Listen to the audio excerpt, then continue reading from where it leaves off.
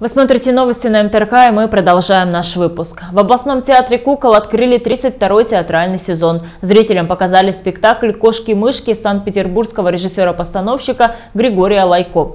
На представлении побывала и наша съемочная группа.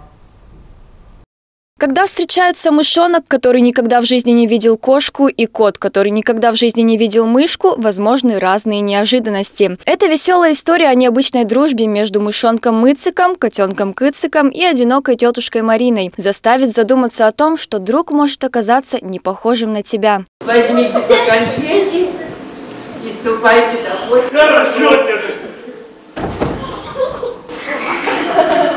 Но только по одной конфете.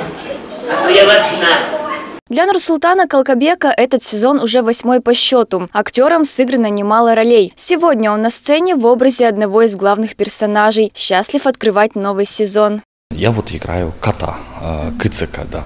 Это такой вот, э, скажем так, капризный кот, э, который привык всю свою жизнь прожить так, чтобы ему все предоставляется, чтобы он там не трудится, ему все отдают и ему все предоставляет. А теперь он попадает в другую, скажем, такую вот среду, где надо ему самому все зарабатывать и отрабатывать, может быть, так. И он абсолютно к этому не готов, и в итоге, конечно, ему предоставляются какие-то вот трудности в жизни. Конечно, да, в этом спектакле есть э, своя философия, как бы свое вот э, показание бытия, жизни, и мы, конечно, это хотим передать зрителям. Не зря же ведь говорит, что театр не только должен быть зрелищем, но еще и должен быть кафедрой, поэтому мы, думаю, с этим спектаклем справились и с кафедрой, и, конечно же, зрелищем. Всего в Театре кукол 15 актеров. Среди них как опытные служители Мипомены, так и молодые актеры, которые только перешагнули порог театра. 32 сезон они начинают со своими победами и достижениями, большими планами. В конце октября актеры представят новую постановку «Хитрый урок» российского режиссера Бориса Ходырева. Ну и это еще не все.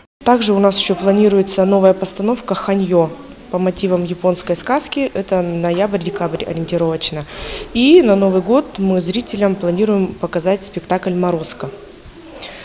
А, также нас э, в начале декабря э, пригласили на международный фестиваль театров кукол «Кукляндия», город Караганда. Мы везем туда два спектакля на государственном и на русском языке. А, мы уже там будем не первый раз участвовать. Живые эмоции, смех и аплодисменты. В зале царила особенная атмосфера. Анастасия Кузнецова, Михаил Казначеев. Новости МТРК.